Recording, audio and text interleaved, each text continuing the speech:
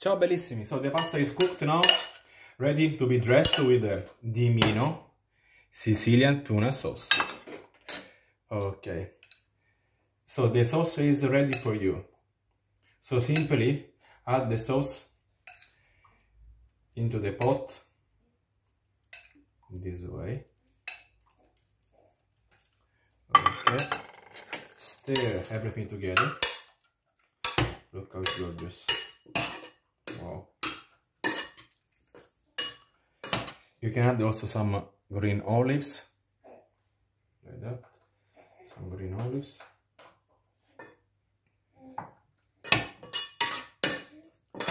Actually, let me put some more sauce this way. The recipe is available also on uh, dimino.co.uk. So mix everything together nicely. A drizzle of Dimino olive oil as well.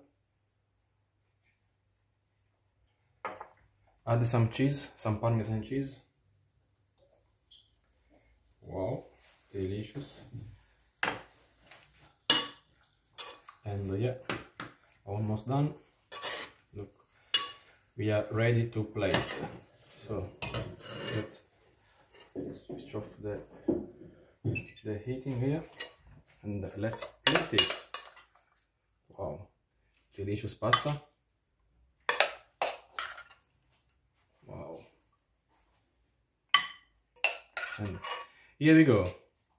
Dimino Sicilia tuna sauce with green olives and Dimino olive oil.